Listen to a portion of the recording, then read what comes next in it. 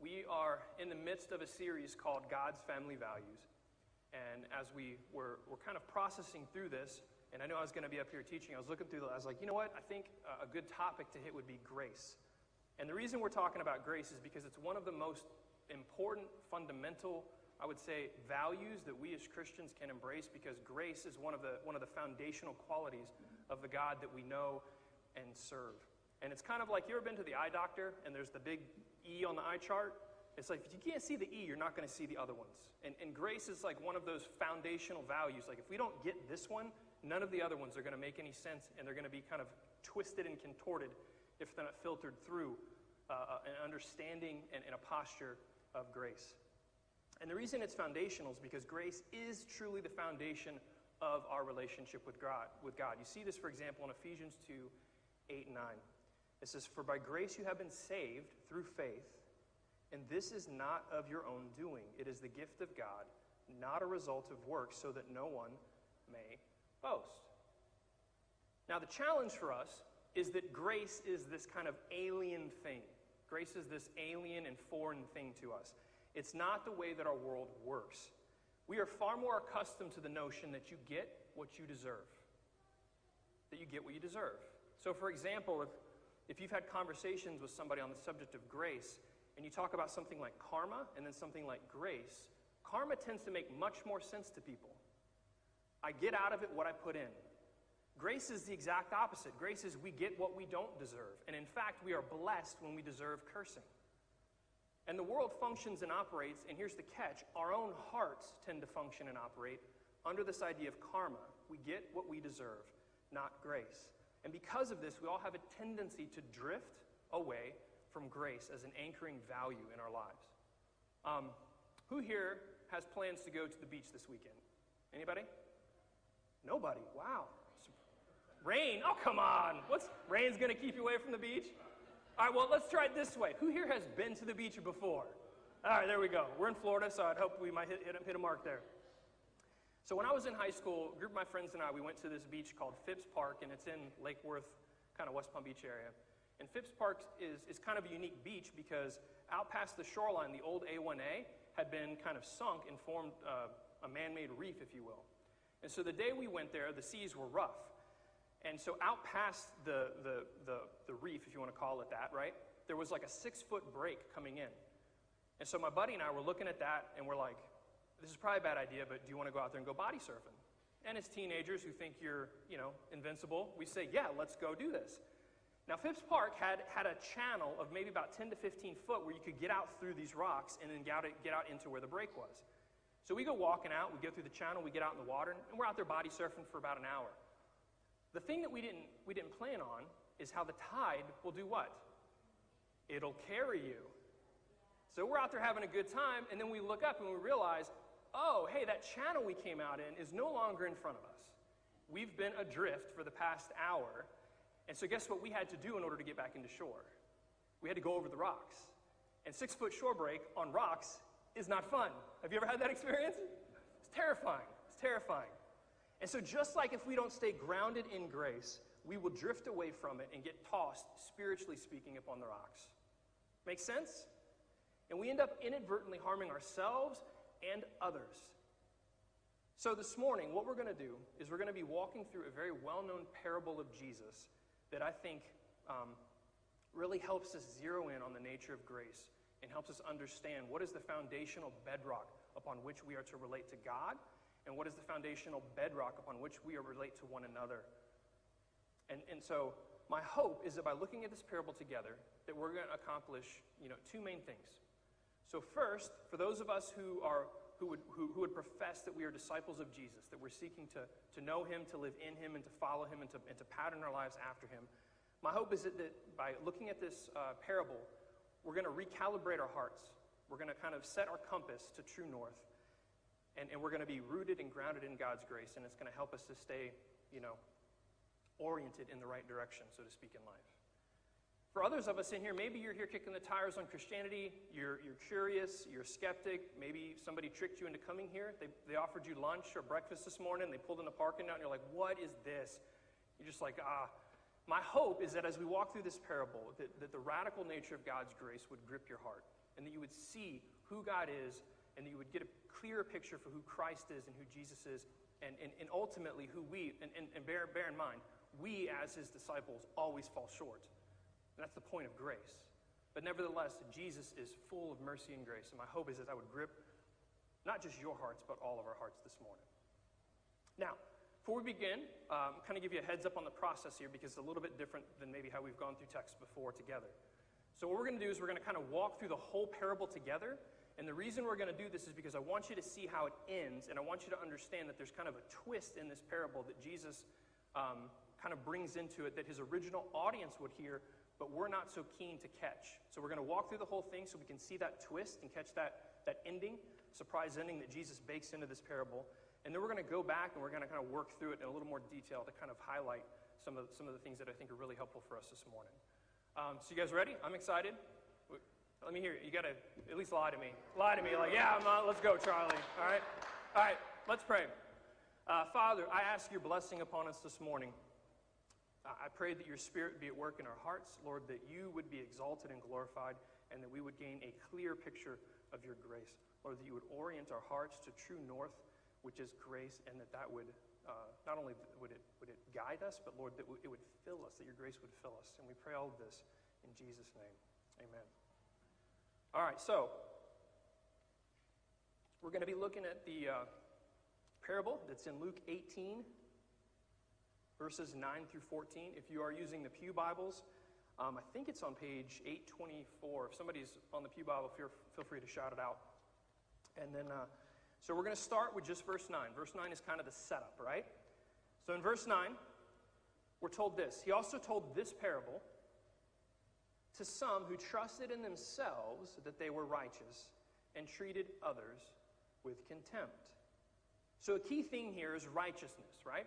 And so, righteousness, if you think of it, it's a theological way of, of talking about how one has good standing with God. Right? So, when, whenever the Bible uses righteousness with respect to a person and God's in the picture, it's kind of trying to convey how does one know ha- one has good standing with God? If you are righteous, then you are welcomed into his presence. And if you are unrighteous, you are not welcome into his presence. Make sense? Most of us kind of grasp that. God is holy, he's good, and how can how can someone like me, for example, enter into a God who's holy, or into the presence of someone who's holy? So there's two important things to notice in this kind of opening verse 9 setup for the parable. First is the people whom he's addressing, that he's going to address with this parable. We're told that they trusted in themselves as the basis of their relationship with God. Right? They're off true north. They're adrift. They're like me at Phipps Park, drifting along the, line, the, the shoreline, not even aware that they're crashing upon the rocks or going to be crashing upon the rocks. And more than that, we also see that they're treating others with contempt. So, this word contempt basically means to, to, to view others as if they're lesser of value or, or have no value. And so, we see the two things playing out, for example, in their lives. They're trusting in themselves, and they're actually, in, in doing so, harming themselves ultimately, but also through their actions, they're harming others they're harming others. So, what follows now is the parable that Jesus tells to address these two issues trusting in ourselves and treating others with contempt. So, look with me at verse 10. It says, Two men went up to the temple to pray, one a Pharisee, and the other a tax collector. Now, it's important for us, and this is why I want us to kind of, we're going to pretty quickly after this jump to the end so you can see the twist. Because what's important for us this morning is that we need to understand how these people were viewed in Jesus' day. It's inescapable that our culture has been shaped by biblical stories. So, for example, we hear this, and, and right when we hear Pharisee, we go, I can't stand people like that. How many of you, if you hear the word Pharisee, there's a, there's a visceral gut reaction to that word, and you immediately associate that with someone who's judgmental, hypocritical, bad, right? Raise your hands. You're feeling me on that one, right? The reason you have that feeling, that default response to that word Pharisee, is because you, whether you know it or not, have been shaped by the stories that we have in Scripture. But now here's the catch that wasn't the case for the original hearers. When Jesus told this parable, the Pharisees were not viewed that way.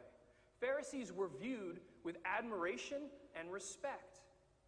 They were religious and political and community leaders. They were admired And to be called a Pharisee was to have been given a title of honor and dignity. It is not, or rather, it was not the negative label that we associate it with today. Make sense? Now, tax collectors, on the other hand, were viewed with disdain and disgust. Now, there's a certain continuity here. Who here likes paying taxes? Right? Nobody. But tax collectors, in particular, in Jesus' day, were, were particular, uh, particularly uh, viewed with disdain because these were Jews who worked for Rome, which was an oppressive, occupying nation. And what they did is they kind of served as middlemen to collect taxes for Rome. And so, guess how tax collectors made their money? Not only did they charge you the tax, they padded a little bit extra on there and they kept that for themselves. So, do you think they were well liked? No, not at all. Now, what's interesting is, is while we don't necessarily have uh, a, contemporary equivalent to tax collectors, what we do have, or rather, is what we did have, is a guy by the name of Martin Shkreli. Martin Shkreli. Anybody know the name? Nobody? Well, I got his picture. We should have his picture here. Do you look familiar? He was in the news. I think it was around 2015 ish, maybe. I can't remember the exact date. Martin Shkreli was a, uh, an investor. He had a company. And through the company, he bought the rights to Daraprim, which was a drug used to treat illnesses, um, particularly uh, infections, in those who had HIV and AIDS. And so he bought the rights to this drug, and he raised the price from $13.50 a pill to $750 a pill. Now, not illegal, but clearly most of us are like, there's something ethically questionable about that. Now, the reason I say that Martin Shkreli serves as a great kind of connection for us to understand how the culture viewed tax collectors is because there was a there was a uproar culturally when this news story broke. And regardless of divisions, culturally, politically, everyone in this country shared a mutual sense of disgust towards Martin Shkreli. It was all over the news media, it was all over social media. Everyone hated this man. If you were to be associated with him, it was guilt by association. And, and, and that disdain and, dis, and disgust towards Martin Shkreli was so complete that not only did we feel it, we felt justified in feeling it towards him. Do you remember that cultural moment where there was this unified sense of, I hate that guy and I feel good about hating him because it's right to hate him? And we can all agree that together we can hate this man. That's how they felt about tax collectors. That's how they felt about tax collectors. So at the opening of Jesus' parable, he picks two people at polar opposites of the social ladder. Pharisee was the good guy. The tax collector is the bad guy. And the expectation is that surely it's the good guy who's going to stand before God justified, righteous, and accepted. And then Jesus reverses that expectation. Look with me at verse 11 through 14. So here's the parable. The Pharisee, standing by himself, prayed thus God, I thank you that I'm not like the other men, extortioners, unjust, adulterers, or even like this tax collector. I fast twice a week, I give tithes of all that I get. But the tax collector, standing far off, would not even lift his eyes to heaven, but beat his breast, saying, God, be merciful to me, a sinner. I tell you, this man, referencing the tax collector, went down to his house justified. It was the tax collector who was declared righteous in the sight of God, accepted in the sight of God, rather than the other, which is the Pharisee, the good guy. For everyone who exalts himself will be humbled, but the one who humbles himself will be exalted. Now, while we miss this, this parable, the ending of this parable, would have been um, disorienting for his original hearers, probably even offensive. Probably even offensive. And so imagine, for example, that the person that you admire, the person that you esteem, the person that you desire and want to be like because you think they are amazing, right? This is the one who is rejected. And imagine the person that you despise, the person that you disdain, this person that you have contempt for. Imagine a Martin Shkreli being the one who is declared to be just and righteous in God's sight. Jesus is radically challenging our notions and assumptions about who and how one has good standing or righteousness with God. You see, the fundamental assumption of humanity is that it's the good people that have good standing with God. That was true then, and it's true now. The names and places, you know, have changed. It's not the Pharisees any longer, but it's somebody else.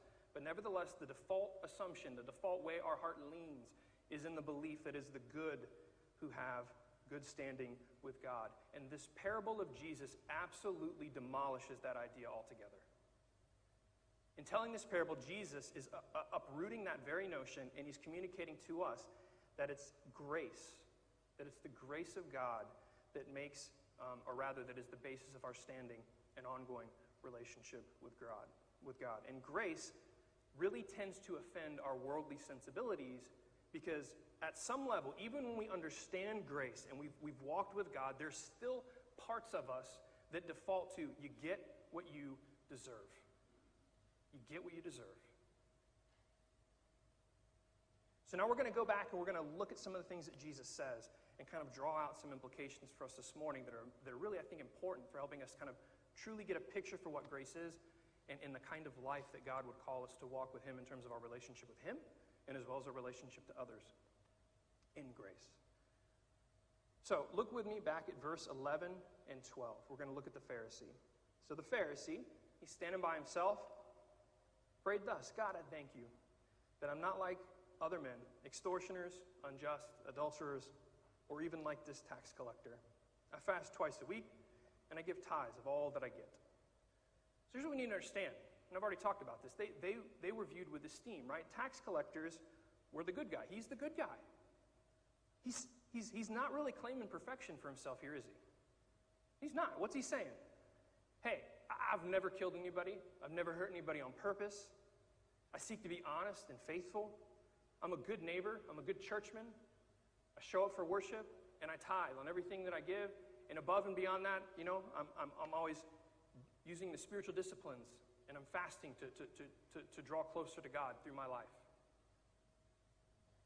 He's saying things about himself that many of us would think about ourselves if we're honest. And it goes like this Look, I know I'm not perfect. I know I'm not perfect but I'm not that bad. I'm not that bad. And the kicker is the Pharisee, he's the guy you'd want for your neighbor. Right? He's going to hold down a job, he's going to take care of his family. He's going to pay the bills. The lawn's going to be mowed. He's not going to bring down your property values. He's probably going to come over and help you out if you're ever in need. He's a likable guy. He's the good guy. Not perfect, not that bad either. Let's look at the tax collector, verse 13. But the tax collector, standing far off, would not even lift up his eyes to heaven, but beat his breast, saying, God be merciful to me, a sinner. This guy is a traitor and a thief. No bones about it. That's who he is. That's what he did. He was a traitor and a thief. And the thing is, even he knows it. Look at him. He's clearly ashamed of himself. He can't even lift his eyes to heaven. He's punching himself in the chest and he's crying out to God.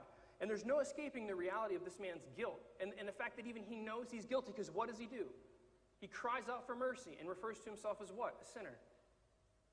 As a sinner. There's no pretense here. There's no trying to pretend he isn't what he is. He's a crook. He's a thief. He's an oppressor. And when he comes before God, he acknowledges that and cries out for mercy.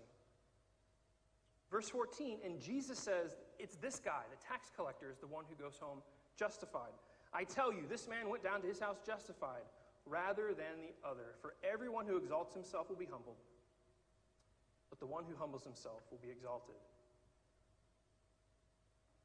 So, how is the worst one, how is the bad guy in this story the one who is declared just or righteous or to have good standing before God and not the other?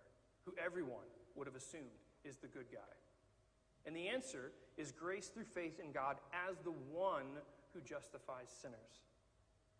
And so we're going to look at a comparison of the two to kind of draw this point home. So look at their point of reference. Look at their point of reference. What's the Pharisee's starting point in, in, terms, in terms of his point of reference? He compares himself to other men and trusts in himself. Right? He even says, Thank you that I'm not like this tax collector. Now, here, here's the truth um, you can always find someone that you think is worse than you. You ever done this? You ever played that game? So here, here's, here's a story from my own life. Um, I may have shared this before, but if, um, if I have, bear with me. So when I was a teenager, my and my friends' life, lives could have literally been an HBO special. We were a train wreck. If there was a camera crew that followed us around and they put it on the TV, adults everywhere would have been in an uproar saying, The youth of today is falling off a cliff. Oh my God, we got to fix things because we were horrible. Drugs, theft, all kinds of stuff in my life. And I kid you not, and I'm not making this up, numerous times I would be hanging out with my friends and we would have this very conversation. Yeah, we're not perfect. Yeah, we do a lot of dumb stuff da da da, but at least we're not like so and so. How crazy is that? How crazy is that? So, if you start with you in reference to somebody else for your determination of who's good, let's say, you can always find someone who you think is worse than you. It's an easy game to play. But the tax collector doesn't do this, does he? He starts rather with God as the point of reference for defining what is good. And in light of God and in who He is, he recognizes that he isn't good and he throws himself upon God for his mercy and grace. You see, if you start with God rather than yourself and other people, then it's really hard to play the I'm awesome game. Make sense? Like if you thought you were good with, like if you played me in a game of basketball right now, you might think you're a great player because I'm going to miss shots, I'm going to get winded. It's not going to go well for me. And if you're like, man, I've got a shot at the NBA, you would be sorely mistaken because I'm not the, the, barometer for what it takes to make the NBA. Now, if you were to play against somebody like Sha- uh, Shaquille O'Neal, even though he's retired, it's probably not going to go well for you, right? So where you start matters. And if we start with God, then we end up in a different, with a different assessment of ourselves. Look at their prayers. What does the Pharisee highlight? He highlights his good deeds. He points to things like his giving and his faithful church attendance. What does the Pharisee do? He highlights his great need. Lord, have mercy upon me, a sinner. You see, the problem that Jesus is highlighting with this parable is that there are no good men who deserve God's grace. There are no good women who deserve God's grace. There are only sinners in desperate need of God's mercy and grace. And that's either to you going to be exceptionally good news this morning, or it's going to grate against your pride. It's either good news or it's grinding on you. And some of us in here, and this is the way we do this yeah, you don't know me. I, am not like the tax collector. I'm not like the Pharisee. You know, I'm not, uh, look, I'm not perfect, I'll admit that, but I'm not that bad. You know, so let's play a game. This is a fun game. It inquires audience, right? Congregational participation. Um, uh, to this date, no one has won this game, but it's fun. We're going we're gonna play it together, and it's called the Ten Commandments game. And I'm going to go easy on you. We're not even going to do all ten, we're just going to do five. Five of the Ten Commandments, okay? So, Ten Commandments, the, the, if, you, if you really think of the Ten Commandments, it's essentially the, the bare minimum of what it means to be a human being. That's what we're talking about here. The bare minimum of what it means to be a human. All right, you guys, I'm excited about this. It's fun. It's a fun game. Promise. All right. Not in any particular order. We're just going to work through five. How many of you have heard that one of the commandments is you shall not bear false witness? You shall not lie. Raise your hands if you heard that one. Okay. How many of you in here have, have ever told a lie? If, if you said a lie, raise your hand. Right? Now, I know, I know, hold on, hold on, hold on. Keep your hands up, keep your hands up. I know some of you, you had good intentions. You weren't lying because you were, you were actually, it was a white lie. You, you only lied because you wanted to help somebody or, you know, you don't want to hurt their feelings. But that counts too, so raise your hands. Okay. And if you're not raising your hand, you're a liar. just throw that out there. Okay? All right, so we're 0 for 1. Oh, you put your hands down, 0 for 1 at this point. Fun game, isn't it? We're having a good time. So we're all liars, room full of liars, right? All right, how, okay, next one. How many of you heard the commandment basically, hey, if, if it's not yours, it doesn't belong to you, don't take it, don't steal. You heard that one? Raise your hands if you heard that one. Okay? Put your hand, all right, now raise them high. Anyone here ever taken something that wasn't yours? I know it was just the office pencil and you justified it because it wasn't that expensive and it's not that big of a deal and you promised to return it at some point, but you never did, right? That counts too. Raise your hands. Come on. Room full of thieves. So now we're 0 for 2. We're, we got three more. Now, mind you, there's 10. We're only doing five. So we're all in here at this point in time over 2. So we've got a room full of lying thieves.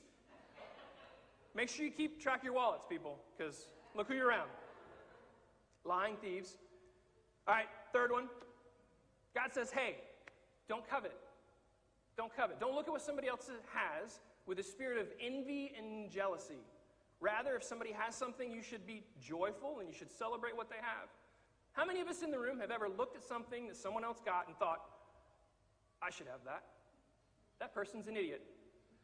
Why did they get that raise? Why did they get that promotion? Why do they get the new car? How come they got the nice house? I should have those things. Anyone ever felt that way? Right. So just to recap at this point, that's three. Three. And so far, we have a room of lying, thieving, covetous people. Doing good here, right? Fun game, isn't it? Everyone, yeah? Some of you are like, oh my God, get me out of here. This is depressing. We only got two more. We only got two more, I promise. We're almost done. So uh, God says, hey, um, don't commit adultery. If they're not your spouse, don't sleep with them. And then Jesus says, hey, let me tell you something. If you look at someone and they're not your spouse, and you look at them with lust in your heart, that is the same thing as committing adultery. So, how many of us in here have ever looked at someone, a man or a woman, and had lust in our hearts when that person was not our spouse? Don't lie again. Come on now. I know this afflicts all of us in here, right? So here we are. Four or five, we are a room full of lying, thieving, covetous adulterers. Feeling good about ourselves right now, aren't we? Yeah, fun times. Now maybe we'll get the maybe we'll maybe we'll maybe we'll win one here. All right, maybe we'll put one on the board. Okay. Um, and this is this is the one that everyone goes to to judge. Like I, I've never killed anybody. I'm not that bad, right? So God says, hey, don't commit murder. Don't. Com-. But then Jesus comes along and says, hey, if you've ever held had harbored hatred in your heart towards someone, you've murdered them in your heart, and you're just as guilty of this command. Anyone in here, for whatever reason, Maybe you were betrayed. Uh, maybe they wore some perfume you didn't like. Maybe they cut in front of you in the line, you know, in Walmart, that god awful place. You ever have to shop at Walmart when it's busy? You know, somebody cuts in front of you, it's like you call down the fires of heaven on them, right? Maybe somebody cut you off and you told them you're number one driving the car, right? Have you ever, have you ever felt hatred, hatred towards another person, another image bearer?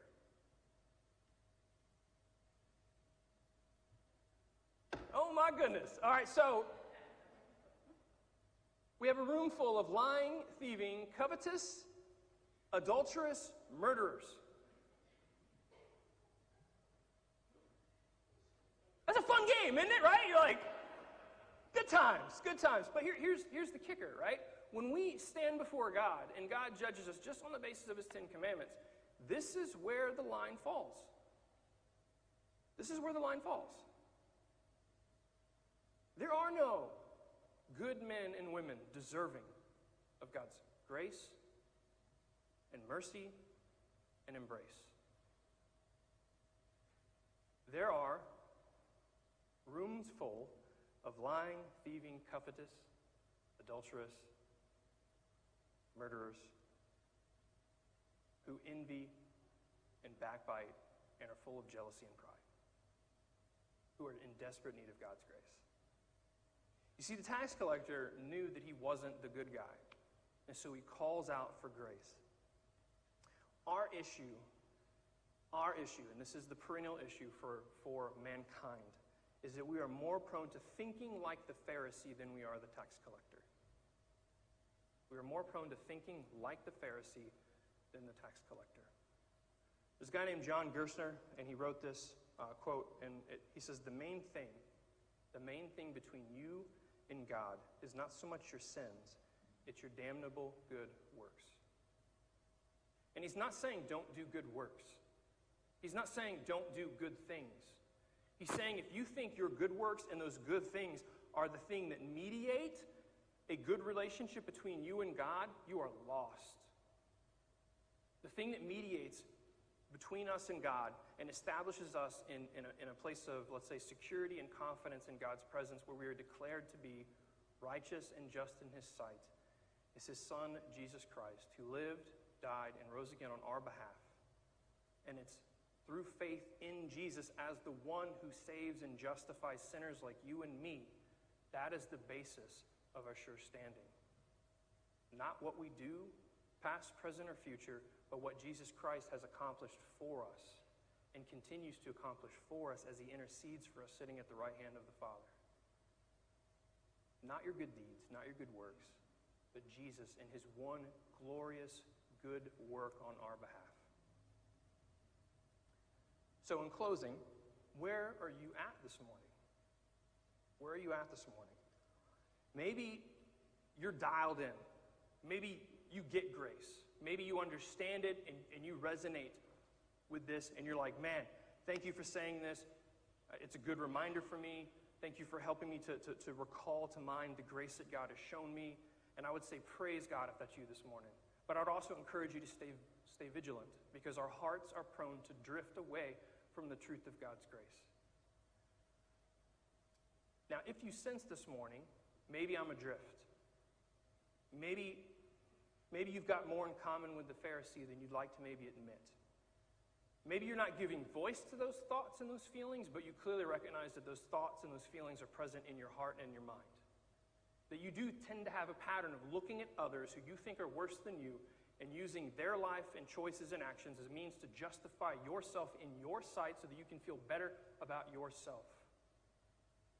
And if that's you this morning, in a few moments, I would encourage you to take some time to maybe dial back into the grace of God. Maybe, however, you don't resonate with the Pharisee, you more resonate with the tax collector. You're here this morning and you're keenly aware of your sin. You feel the weight of, let's say, guilt and shame for things that you've thought, things that you've done. And, and you feel this pressure weighing on you. And so if you're, if you're resonating with the Pharisee or the tax collector, hey, guess what? I've got phenomenal news for you this morning.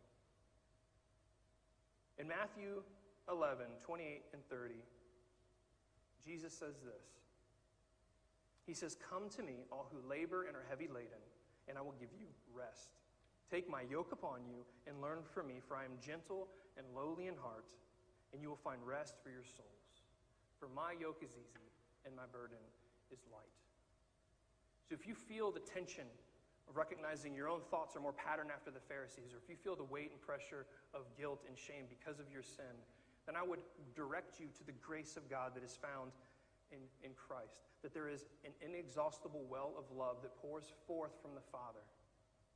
And that any who would simply, like the tax collector, throw themselves upon the mercy of God and cry out, Have mercy on me, a sinner, will be redeemed, restored, embraced, and, and adopted as God's sons and daughters. In God's family, grace is a foundational value. It is the bedrock of our relationship with God, and it should be the bedrock of our relationship with others. The, the grace that is shown to us would fill us, and through us would be poured out among others who are around us our, our coworkers, our neighbors, the person that cuts in front of you at the line at Walmart. That we would ooze grace, that we would emanate grace. Why? Because we have been shown so much grace ourselves. Grace is the big E on the eye chart. It is a foundational value. And if we don't get this one, we won't get any of the others. We pray with me?